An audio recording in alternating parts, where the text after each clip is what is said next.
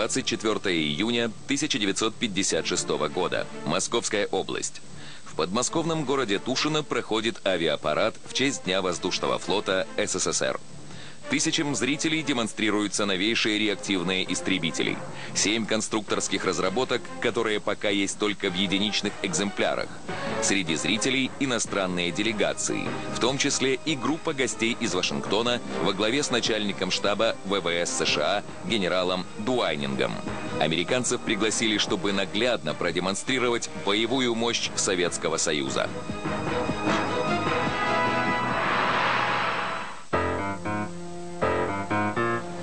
Парад закончится, изумленных иностранцев привезут в Москву, где в Центральном доме Советской Армии им будет устроен роскошный прием. После обильного обеда Хрущев позовет всех гостей в парк, где прямо под деревьями их будут ждать праздничные столы вместе с легкими коктейлями. Советский лидер предлагает начальнику штаба ВВС США прогуляться под деревьями. Даунинг соглашается, и собеседники удаляются вглубь парка. Разговор заходит об успехах американцев в области авиастроения. И импульсивный Никита Сергеевич заводится с полоборота. Он просит переводчика воспроизвести его следующую фразу предельно точно. «Прекратите засылать в наше воздушное пространство ваши У-2. Непрошенных гостей мы будем сбивать», произносит советский лидер. Эта высокая информированность Хрущева застает генерала врасплох. Он не знает, что ответить собеседнику. Американцы уверены, что о разведывательных полетах У-2 в Советском Союзе ничего не известно. Самолеты летают на очень большой высоте, к тому же без опознавательных знаков. Дуайнинг бормочет в ответ что-то невразумительное, и Хрущев переходит на крик. Не стесняясь в выражениях, советский лидер обвиняет американцев в развязывании международного конфликта.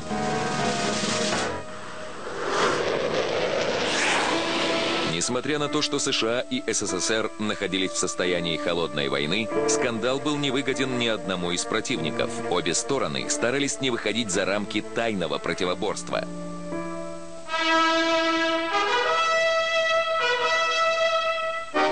Последующие дни этот инцидент постарались загладить русским гостеприимством по отношению к американской делегации. А в день отлета гостей из США подчеркнуто торжественно провожали высшие военачальники Советского Союза. Хорошо известна ведь фраза Хрущева «Если вы будете ухать, то мы вам так ухнем». Имелось в виду, ну, в последующем эта фраза воспринималась достаточно анекдотично, а ухать это происходило как раз от У, У-2. И, соответственно, имелось в виду, что мы ответим на ваше У-2 соответствующим образом. 2 июля 1956 года. США. Белый дом. Кабинет президента. Когда директор ЦРУ Ален Даллас вошел в кабинет к президенту, то сразу понял, Эйзенхауэр не в духе. Перед главой Белого дома лежало распоряжение о начале полетов У-2 вглубь территории СССР. Однако подписывать его президент не спешил. Информация от Дуайнинга выбила его из колеи. Если русские так осведомлены, возможно, лучше отменить предстоящую операцию. Эйзенхауэр повернулся к Далласу. Что будет, если нас поймают? Но ведь этого до сих пор не случилось, спокойно парировал глава ЦРУ. Президент взял ручку и завизировал документ.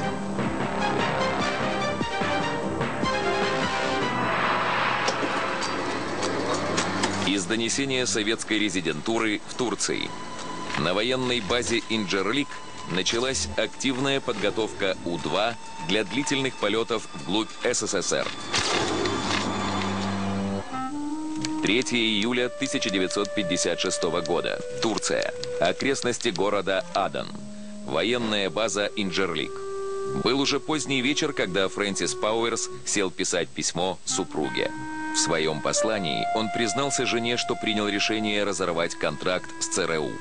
Пауэрс был не робкого десятка, но когда ему сообщили, что теперь он будет летать вглубь СССР, пилот испугался. Даже обещание начальства повысить зарплату за риск его не вдохновляло. В этот момент в комнату вошел командир подразделения 1010, полковник Шелтон. От неожиданности Пауэрс слишком резво подскочил и вытянулся по струнке. Но командир отдал команду вольно и предложил подчиненному поговорить по душам.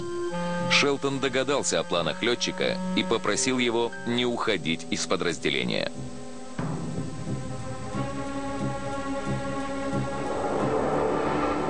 Командир намекнул Паурсу, что в руководстве ЦРУ на него делают большую ставку. Он лучший пилот в 10-10, и в скором времени его ждет серьезная секретная миссия. Ближайшие полеты вглубь страны – это всего лишь дерзкая репетиция его будущего задания. Полковник был предельно откровенен с подчиненным и предупредил Пауэрса, что в случае отказа он может поставить крест на своей карьере. Конец июля 1956 года. Один за другим в советское пространство наведываются напичканные разведывательной аппаратурой самолеты У-2. Успехи воздушных шпионов невероятны. Один из самолетов фотографирует в районе Ленинграда верфь, где строились подводные лодки. Другой, которым управляет Фрэнсис Пауэрс, совершает полет над Москвой. В окрестностях столицы самолет-разведчик обнаруживает аэродромы базирования бомбардировщиков М-4. Снимки, которые были сделаны с самолетов У-2 при помощи специальной аппаратуры, оказались исключительно высокого качества. Как позднее признается сам Пауэрс, детали были видны настолько четко, что можно было прочесть хвостовые номера на бомбардировщиках. Ведь они летали, ну как на прогулке. А Высоты не освоены, ни в одном округе авиации не было, чтобы на 24. Но не было у нас. Су-9 только-только стали поступать, и то по потолку, как я уже сказал. Только с ракетным вооружением. Но они так нахально летали, знали, что им ничего Советский Союз, то есть никакого воздействия не сделает. И они практически скрывали полностью. Конечно, вот представьте себе какой-то секрет, у каждого государства же есть, и вдруг летит, заснимает вплоть до пусковой установки, до расчета такая аппаратура. Все видно, всю группировку, все эти объекты. 15 июля 1956 года. СССР. Кремль. Зал заседаний. Очередное заседание Президиума Политбюро началось со скандала. Во время доклада Фрола Козлова, который курировал органы безопасности, советский генсек приходит в бешенство. В самом центре СССР свободно летают американские шпионы. Это не что иное, как преступная халатность КГБ. Не дослушав доклада до конца, Хрущев хватает со стола мраморное пресс-папье и швыряет его в Козлова. Тяжелый прибор пролетел у самого виска докладчика. Гнев советского руководителя вполне был понятен. Однако одними эмоциями ситуацию не исправить. Советский Союз действительно пока не обладал эффективными методами борьбы с воздушным шпионажем. Советские радары мгновенно засекали вражеские самолеты, однако боевые средства ПВО и военная авиация не в состоянии, что называется, были достать противника. У-2 летал на слишком большой высоте и к тому же обладал высокой маневренностью. 15 июля 1956 года. СССР. Кремль. Кабинет генерального секретаря ЦК КПСС. После того, как страсти на заседании в Политбюро улеглись, Никита Хрущев вызвал на ковер руководителя КГБ Ивана Серова. Генсек не любил долгих вступлений. Он сразу поставил перед своим подчиненным задачу – немедленно остановить взорвавшихся американцев. Необходимо активизировать действия советской разведки в США. Наша резидентура должна в кратчайшие сроки добыть информацию о новейших технических разработках, примененных при создании У-2. Только в этом случае можно рассчитывать на успешную борьбу с самолетом-разведчиком.